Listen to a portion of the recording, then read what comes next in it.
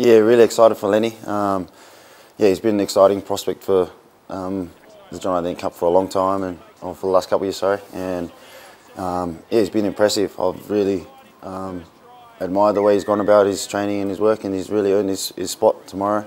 Um, and no, no, bigger challenge than um, to be against a, a, good Auckland side. They're quality all, all around, man. Uh, they got Matt Duffie there, who's an All Black as well, and uh, obviously Ma'a Nonu with the experience. So I think you don't really um, look at matchups. Obviously, we are probably planning for him as well. He's a, a dangerous threat.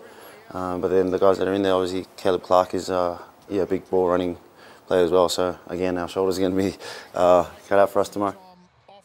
It's a real close competition, man, and um, it's nice to sort of be at home. We've done a, our, our fair bit of our road trips now, and um, yeah, I think we, we usually perform at home, and I guess we can't take that for granted as well. We've got to be uh, up and, and ready to just yeah, put on a, a good performance that we're proud of and our fans are proud of as well.